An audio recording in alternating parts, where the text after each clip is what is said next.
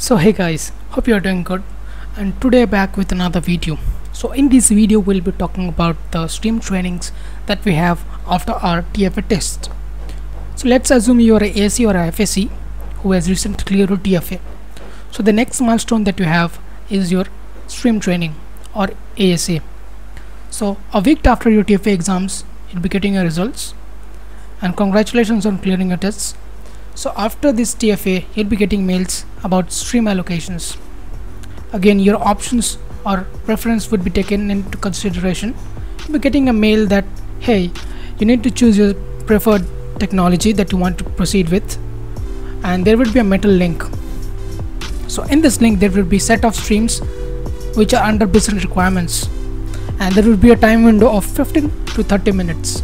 So you need to choose your streams as per your preference and the number of streams that you have may depend on your base location and the and the projects undergoing that locations. For example for Kolkata I got three options. My friends from Bangalore and Pune got six options. Some got eight options. So the number of options that you get is completely dependent on your number on the type of projects that are going on your base location. Again you have to choose your stream so for example there are six options. So my first favorite stream would be my first preference. The second most favorite would be my second preference. And likewise I'll I'll be going till the end. And th there are some cases where the streams were directly allotted to people. So there are some people who have got streams that hey this is your stream and your classes will be starting from this date. Again even if you give the preference it is highly likely that you get you may get your second or third preference or there are people who have got their even last preference. So it totally depends on the business requirements as well but in 80% cases you get your favorite stream. So that is about stream allocation.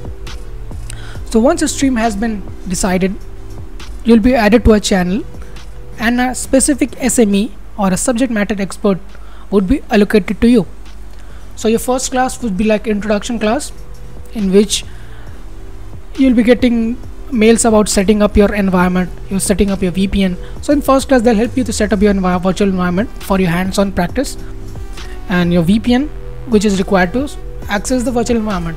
So this is first class is just introduction about how they are going to cover the models what are the type of tools that we are going to use and just basics. The next thing would be your 10 consecutive classes so after the first class there will be 10 consecutive classes and it will be taken in two halves. The first half starting from 9 am till the till 1:30 and the second from 3 to 5:30 or even 6 and your attendance will be taken into consideration. So you need to provide your attendance on a given portal. A specific code will be shared by the mentor and you have to give your attendance. So after your first 10 classes your SME classes would be taken on a weekly basis. So there would be one day in a week where you have to not work on your project and attend the classes with full concentration. It is highly likely that you would be since you are a fresher you'd be likely on a bench or not in a shadow period. So the shadow period is like you'll be allocated, to a team but there would be no minimal no task at, or even minimal task would be given to you like raising a ticket or going through a code or getting the response from an API so basics task would be given to you or no task at all.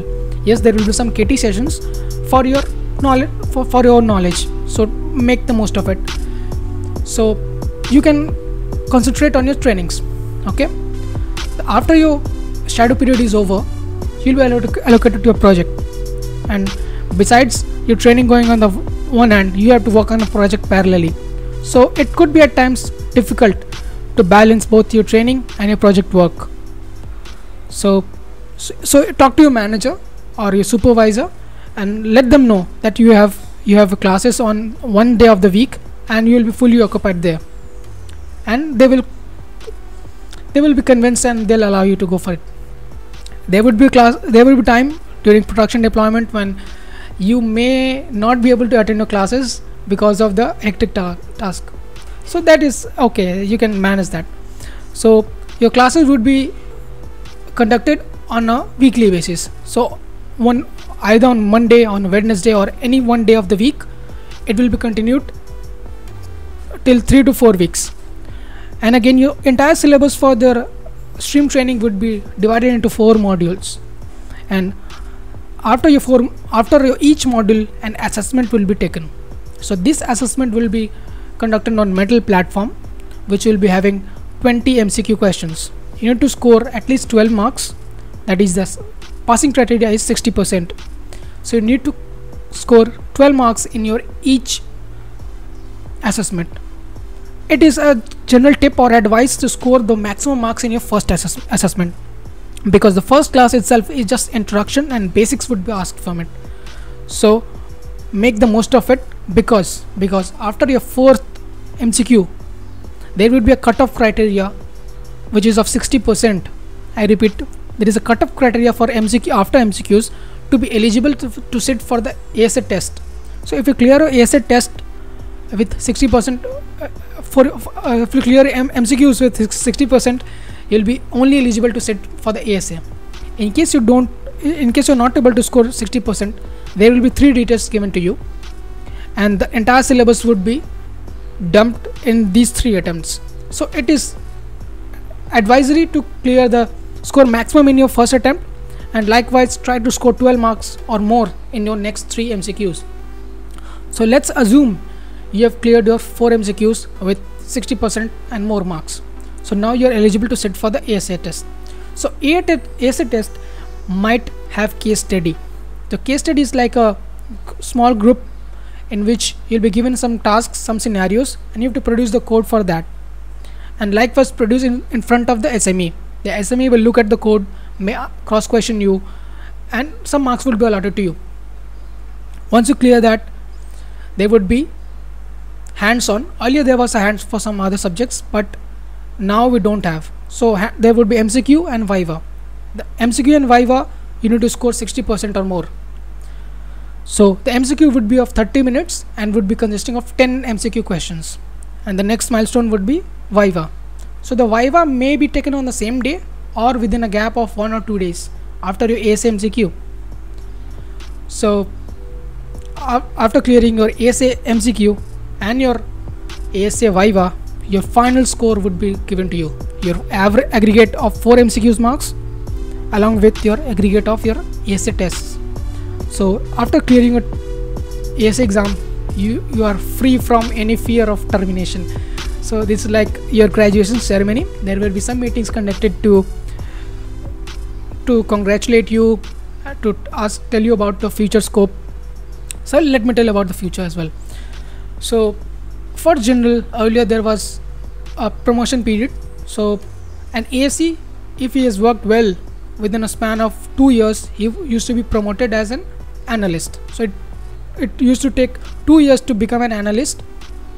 If i'm wrong put a comment in put a comment. But because of this TechLeap program or TechLeap school that we say your promotion would be would be fast tracked. So for example you are an AC who has been working really well in your project. Your supervisor and manager are satisfied with your work. And there will be a TechLeap which be like a kind of stream training only the videos and the lectures and modules everything will be self-paced. But within a span of two months you have to cover the modules and sit for the assessment. The assessment would be only for one attempt.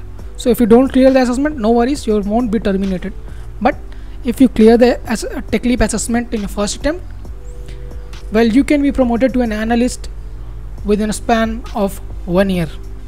So it's kind of wildcard entry to being an analyst again it is not a guarantee that you'll be promoted to an analyst if you have cleared the TechLeap your overall performance in your projects if you are a bench then it is difficult that you will be promoted to an analyst. So you review from your manager your performance in your project and your clearance of TechLeap these three criteria will ensure that you will be promoted to an analyst within one year. So this is the basics about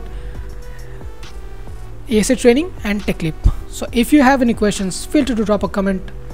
Like this video and share with your peers who are undergoing TFA who are undergoing ASA and who are about to approach TechLeap so that would be all about today. And till then take care and happy learning